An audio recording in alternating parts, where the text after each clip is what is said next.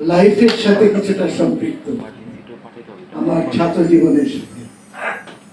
এবং অনেকে আপনার বলেন না, টানকি মারতো। এরকম মার্কেট অনেকে অনেকে টানকি মারে, কিন্তু আমরা টানকি মারতাম বিশ্ববিদ্যালয়ে বারান্দাতে। যখন বিশ্ববিদ্যালয়ের ছাত্র ছিলাম ফার্স্ট টাইম ঢাকা বিশ্ববিদ্যালয়ে অনেক সঙ্গী সাথে ছিল। আমার একটা কাজিনা ছিলেন, তিনি পড়তেন ইংলিশ ডিভিশনের অনার্স ইংলিশে আমিও পলিটিক্যাল সায়েন্সের অনার্স নিয়ে তখন করছি ওর সাথে মাঝে মাঝে আমি ওই একটা করিডোরে কিছুটা নিজের ভাবা ভাবাবেগের কথাবার্তা বলতাম। তো সেই ধরনের একটা আলাপ আলোচনার মধ্য দিয়ে যখন আমরা গল্প করছিলাম, ঠিক সেই সময় একজন মহিলা খাটো খুব বেশি লম্বা না।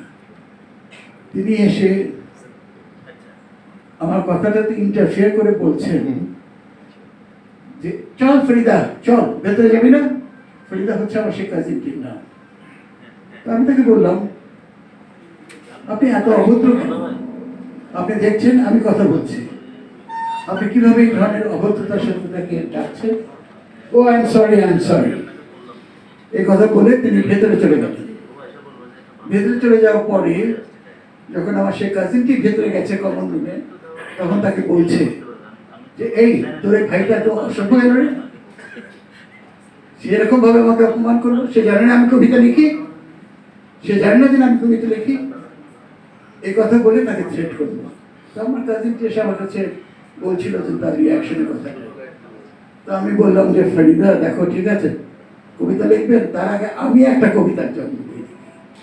আমি একটা লিখতে পারি কিনা দেখি। নামটা এখন বলব না, কার ব্যাপার সেটা আপনার শেষ শুনবেন।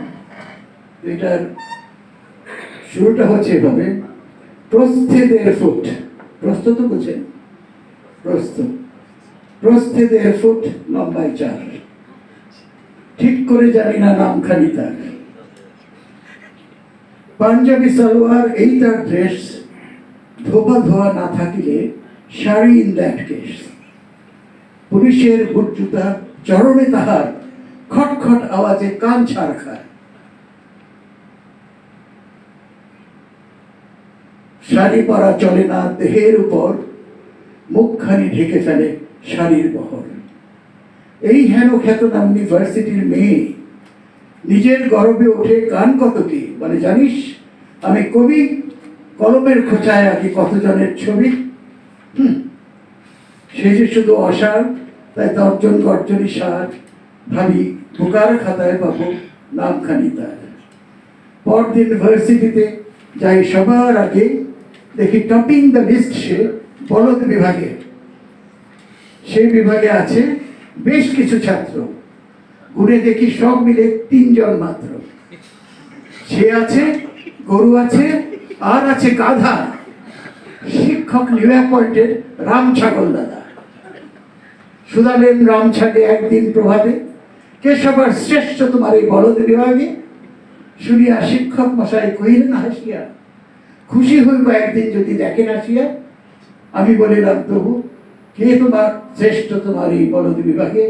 শুনিয়া শিক্ষক মশাই দীর্ঘশ্বাস ছাড়ে হাসিতে উছল হয়ে আল্লাহ দেয়ার খান, কহিলেন, সে আমার সুরাইয়া পাঠান।